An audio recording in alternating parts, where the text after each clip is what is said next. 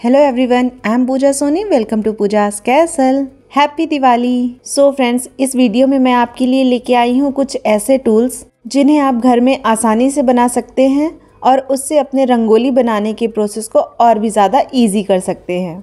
तो चलो पहले टूल की बात कर लेते हैं। इसके लिए मैंने यूज़ किया है पानी की छोटी बॉटल आप कोई भी छोटी बॉटल यूज़ कर सकते हैं।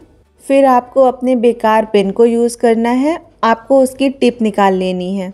और फिर अगरबत्ती की हेल्प से हमें बॉटल के ढक्कन पे होल करना है।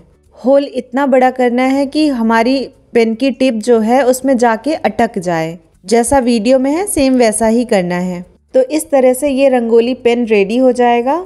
इससे आप अपने अकॉर्डिंग कोई भी डिज़ाइन बना सकते हैं। रंगोली के लिए एक टिप है, आप जो भी कलर लेंगे, उसे छन्नी से छान लीजिएगा पहले, जिससे ये टिप में फंसेगी नहीं ओके और रंगोली भी अच्छे से निकलेगी। इसकी जगह आप ग्लू की बॉटल भी यूज़ कर सकते हैं। उसके टिप में जो होल है, आप उसे थोड़ा सा बड़ा कर लेना और आपका काम हो जाएगा। तो चलो दूसरी ट्रिक की बात करते हैं। इसके लिए मैंने दो पेपर कप लिए हैं और उसके पीछे साइड के पोर्शन को मैंने हटा दिया है। और एक नेट का कपड़ा ले लिया है। मैंने यहाँ पे दुपट्टे का कपड़ा लिया है।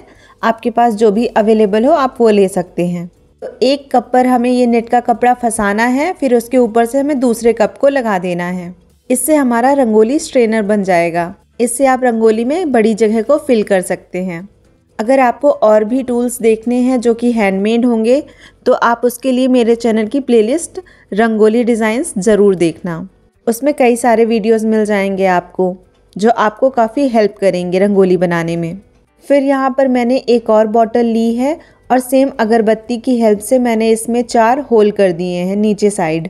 कभी कभी रंगोली बनाने में हमें चार लाइन या तीन लाइन एक साथ खींचने की ज़रूरत होती है तो इसकी हेल्प से हम उसे बना सकते हैं। बाकी के टूल्स के लिए प्लेलिस्ट ज़रूर देखना, ओके? लिंक्स मैं आपको डिस्क्रिप्शन बॉक्स में दे दूँगी। Please do like, share and subscribe to my channel. I'll see my next video. Till then bye happy Diwali!